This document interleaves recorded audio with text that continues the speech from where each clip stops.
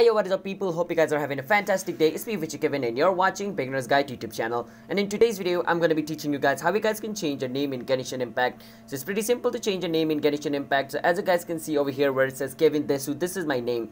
So if I want to change it, it's pretty simple and you guys can do that. But before that, I want you guys to hit that like and subscribe to our YouTube channel with notification on so you guys can get notified for our future video. And if you guys have any question, you can ask us in the comment. I'll be happy to answer you guys and let's jump right into the video. So the first step is you want to go to your Genshin Impact game. Once you're in this game, you want to click on your escape key in another word known as ESC key. Once you click on it, you want to go on this button over here with a pen icon and a you know copy looking icon. You want to click on it. Once you click on it, you can click on edit nickname.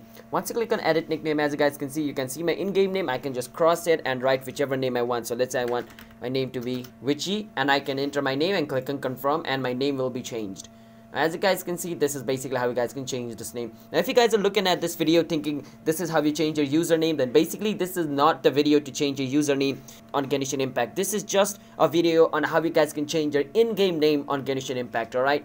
So this isn't how you guys can change your username alright? So this is just the technique on how you guys can change your in-game name of Genshin Impact. For changing a username in Genshin Impact there's another process you guys have to do it alright?